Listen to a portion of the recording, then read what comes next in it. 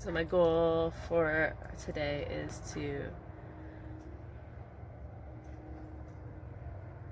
Hi duckies. Do you ever like worry yourself sick about something? You know, you worry so hard about something that you literally become physically ill. You know that feeling like you know you're stressing so hard about something that you get a stomach ache maybe you stress about something for so long that you get a stomach ulcer you know. Um, so that's pretty much been my life since I was 10 years old. Um, it started with stomach ulcers you know and kind of worked its way through my digestive system over the years. Um, you know from ulcers to acid reflux to irritable bowels to inflamed bowels to bleeding bowels and you know it's it's all it's all over the place. And you know it took me a really long time to actually recognize that that connection that literally I have been stressing myself to death you know, I talked I talked with my doctor about this and I said I asked like is it is it unreasonable to you know, to think that possibly all of the the health problems that I'm having right now is because I'm under a ridiculous amount of stress and and I'm having a hard time uh, you know just unloading that stress and and uh, turning off the the fight or flight um, switch. You know, it's it's been stuck on for so long. It's like my my brain has forgotten how to how to turn it off.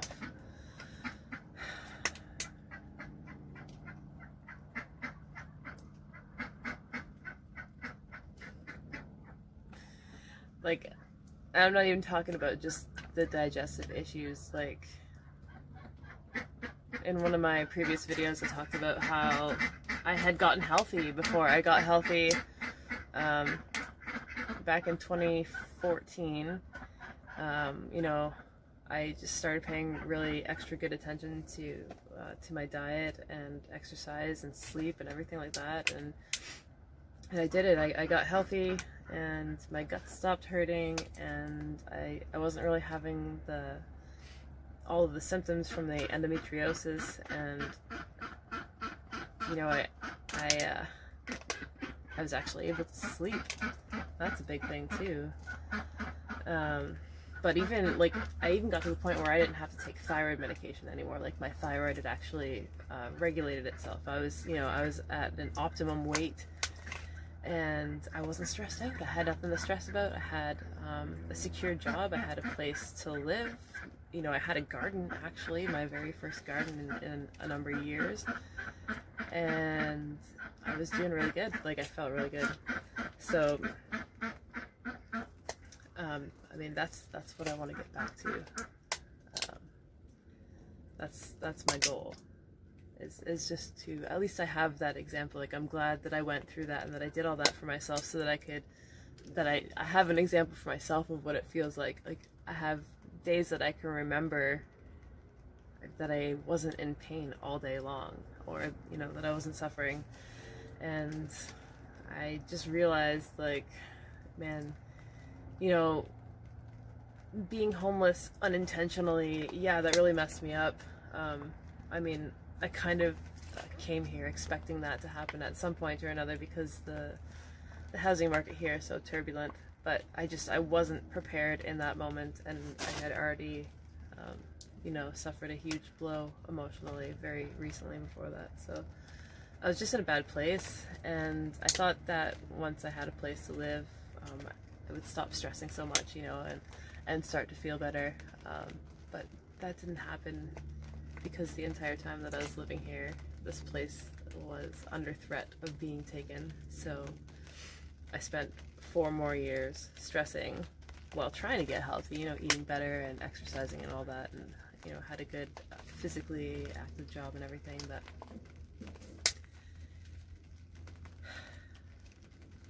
stress. Okay. Okay.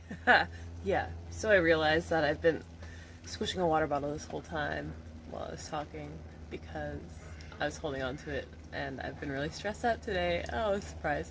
Um, but I mean, for real though, like actually, the past couple weeks I have been a lot less stressed out than I have been the four years previous. Um, but I mean,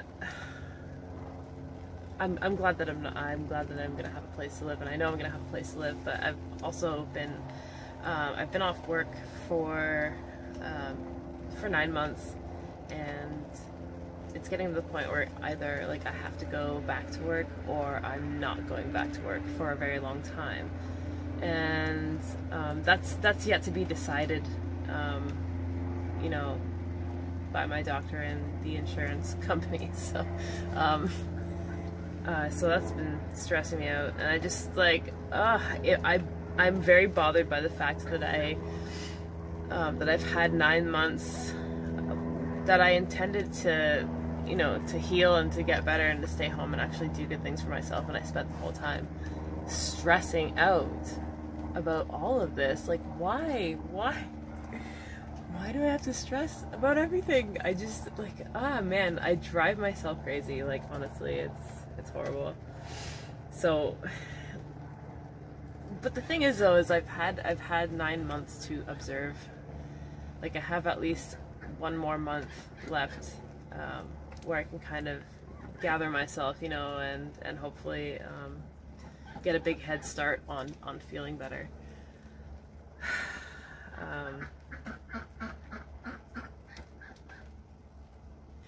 like how what I've noticed, you know, in the time that I've had to observe myself and all of this stress is that, you know, like maybe there there is some things that I can do for myself like immediately um, to kind of just tell it to bugger off, you know, like um, you know the whole like focusing on your breath and you know being being aware of your breath and breathing deeply like there's definitely something behind that.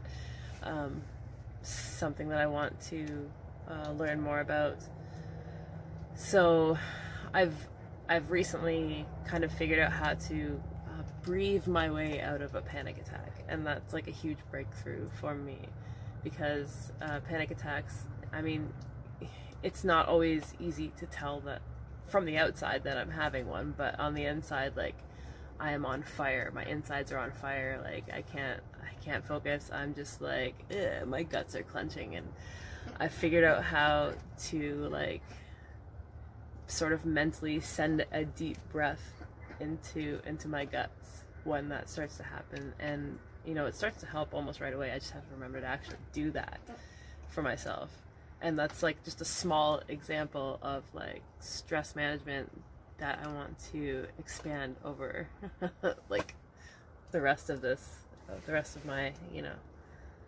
my life. So like I was able to see what what kind of things really do stress me out what kind of things um, bother me more than others. Like I feel like you know, because I've been stuck in stress mode for, for so long that it's, you know, I don't even notice. Like, I don't even notice what really, really bothers me because everything bothers me. I don't like that. I don't, I don't like feeling like that. So, um, so I don't, I guess the nine months wasn't a waste essentially. Like, I did I did learn a bunch of things. I just wish that I would have learned them a little bit quicker, but it is what it is. And I'm glad that I had this time. I'm very thankful that I've had this time. And I don't want to seem like, you know, ungrateful because I, I feel like I wasted it. But I didn't really. That's just me, you know, stressing about it like I shouldn't. Um, yeah, but like other other things that I've noticed is like um, like inflammation in general. Like it's it's not just in my guts like if i'm if i'm extremely stressed or i eat something that i know stresses out my digestive system. Um, like I feel it in my joints. I feel it in my hips. Um, like I feel like um, I have worse symptoms of endo um, during times that I'm under immense, immense amounts of stress. Um, for instance, this is going to be a too much information kind of thing, so plug your ears if you don't want to hear it. But like, um, I just uh, my period just started, and yesterday, and I mean, yeah, I, I still had the symptoms, like you know, I still had the intense pain and the swelling and, and the bloating, and you know, not being able to really move comfortably for a few hours and spending pretty much 24 hours straight over the over the toilet, but that being said, it was like, I would say probably half as intense as like the 10 periods before that one, you know? And that, that's amazing. Like, it's been, it's been since May that I stopped taking the anti-inflammatories because I can't take them anymore because that's kind of how I, I ruined a couple other organs. Um, but anyways, like I'm finally starting to figure out how to how to manage that a little bit and that's what I want to hang on to and that's what I want to work on because I feel like you know once I can stop the stress from taking over and and doing all this damage while I'm trying to heal if I can if I can stop that extra damage from happening then I'm gonna heal a lot quicker and feel a lot better um, more sustainably uh, than the last time I was able to get healthy you know yeah, so stress kills. Ah, it's killing me. I gotta stop that. Thank you guys so much for watching. Um, it really, really helps me out to have like, you know, an audience because if I was just doing this by myself, I'd probably give up. I'm not saying that I don't have any willpower. I'm just saying that I have a lot more willpower when when somebody else is uh, is tuning in. You know. Uh, so thank you for watching and, and subscribing and doing the like thing and like leaving me comments and stuff. I like that stuff. Thank you. All right. Talk to you soon. Yes, hello. Hello. Hi, Batman. Hey, you guys been mighty talkative today, huh? Yeah, especially you, Batman. My squeaky girl. Hello.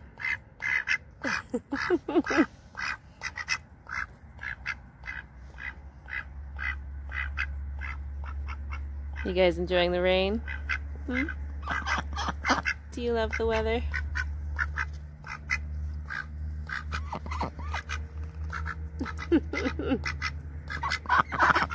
My therapy ducks.